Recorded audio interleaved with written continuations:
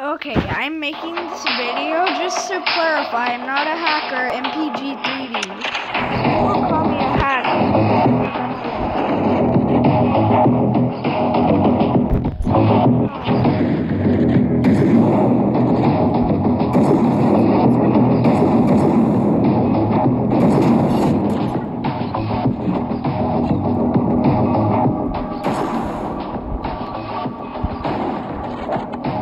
Oh.